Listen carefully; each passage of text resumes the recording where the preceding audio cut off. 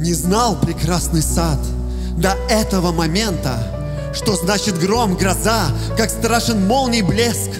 Но вот сгустилась тьма, и задрожали ветви, И ужас все пронзал, покой в саду исчез. Спешили скрыть себя животные и птицы, Не ведавшие страх доселе никогда, И с ними человек бежал, спешил укрыться, Который точно знал, с чего пришла беда.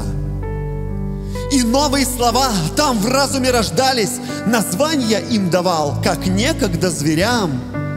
Страх, ужас, зло, беда В сознании закреплялись И сразу на века передавались нам. Но там, сквозь ветровой, через раскаты грома, Слепящий молний блеск настойчиво звучал Ему такой родной, с рождения знакомый, Творца земли, небес, глаз Господа взывал. Адам, Адам, где ты? Адам, куда ты скрылся? Как будто Бог не знал, где прячется беглец. Тот, спрятавшись в кусты, от Господа таился, а голос все взывал, все сына звал Отец.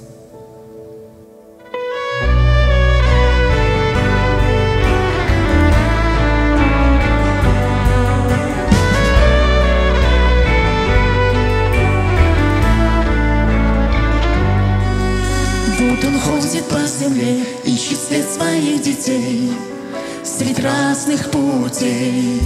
К сердцу бедному зовет, от него ответа ждет. Стоит у двери.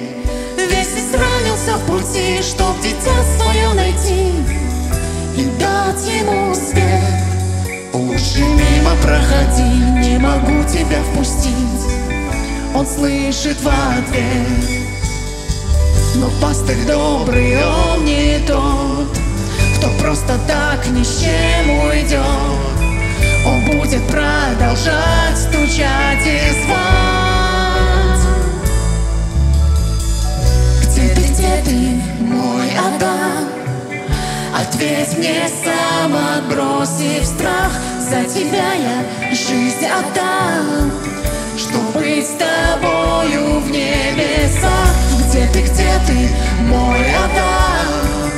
Адам? Я есть ответ на зов души За тебя я жизнь отдам В мои объятия спеши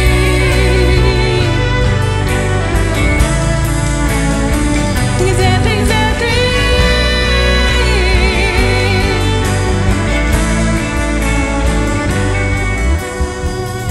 Сын к сердцу прижимал напуганную Еву, Дрожащую, как лист, когда взрывался гром, Тот плод, что он вкушал, его лишивший неба, С которым стал нечист, навеки отделен.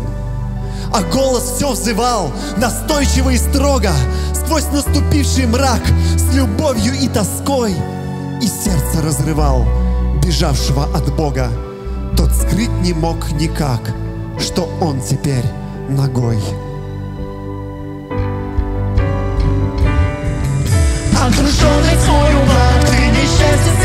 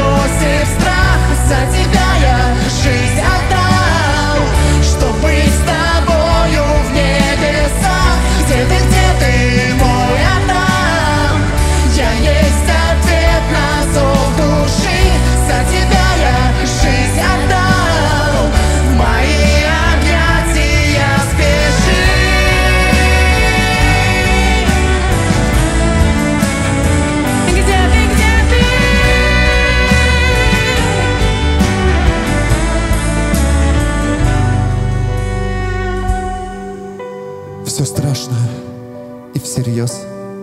Вот, потерял я друга, о, как я низко пал, не оправдать себя. И сквозь потоки слез, запекшиеся губы, он тихо прошептал в ответ Творцу, вот я.